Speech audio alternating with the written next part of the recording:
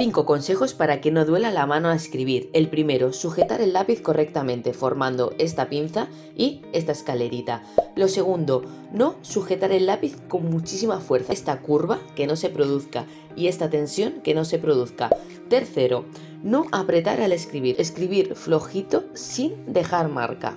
Cuarto, apoyar bien la muñeca en la superficie para escribir y que todo esté descansado. Y quinto, parar de vez en cuando para hacer ejercicios de estiramiento.